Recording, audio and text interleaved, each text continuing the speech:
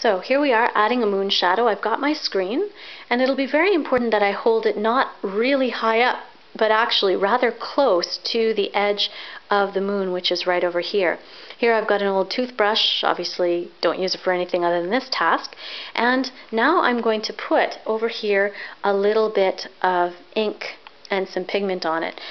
I don't want to use too much water. If I do, um, what happens is uh, a pool, and here you can see the water collecting, and I'll just give you a demonstration as you shake it through there. It doesn't really do a very effective job in terms of pigment because this isn't very dark. So what I instead need to do is I need to go over here to my Suzuri and scoop up as much of the ink that's there.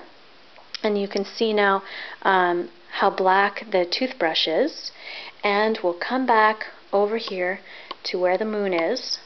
And the most important point is obviously not to go over the center of the moon, but we want to put a little bit of a dusting or a shadow around the edge, and we want it to be as even as possible.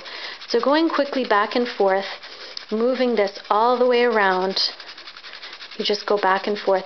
Once you develop a technique, you can do kind of both at the same time like this and uh, it makes it really, really efficient. Um, the key point is you do have to use quite a bit of speed in order to get that happening.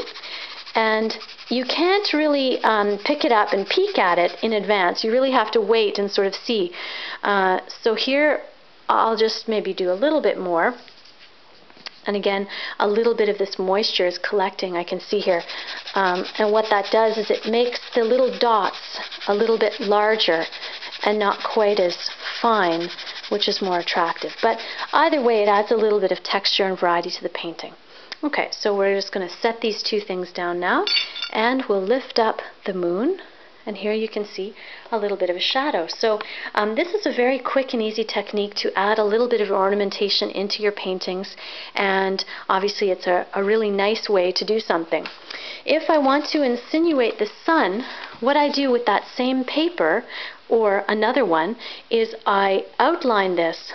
I place it on the canvas or on the paper and I do the exact same technique in here in the center of the hole and this is to represent the sun.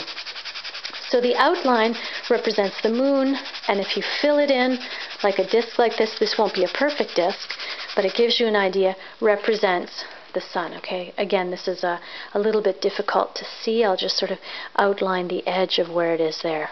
So that gives you either the sun much more intensively and darkly or the moon just over here.